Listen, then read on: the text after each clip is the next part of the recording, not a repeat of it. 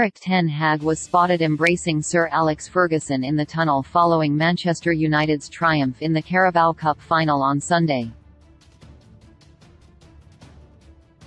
The Dutchman's side saw off Newcastle comfortably in the end, with Casemiro's header and a Sven Botman own goal separating the two team to seal the Red Devils' first piece of major silverware in six years.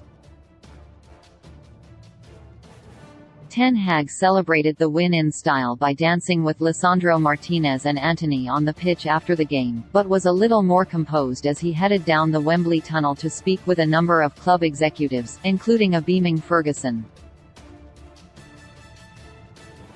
The two high-fived each other before sharing a brief hug, and Giddy United fans viewed the heartwarming interaction as a symbolic passing of the torch moment. Truly an epic moment, Ferguson finally has a proper successor, one supporter tweeted.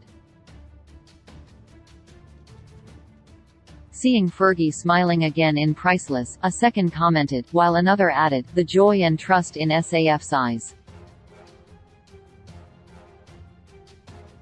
He knows Ten Hag is the man. In the decades since Ferguson retired United have struggled to keep pace with the giants of English and European football, but fans appear more confident than ever that that's about to change.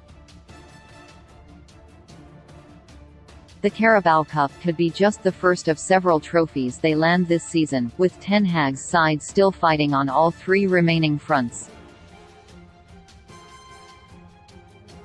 They are now favourites to win the Europa League after impressively knocking out high-flying Barcelona and still have an outside chance of pipping Arsenal and Manchester City to the Premier League title, and victory over West Ham in the FA Cup on Wednesday would be the icing on the cake of an unforgettable week for the club.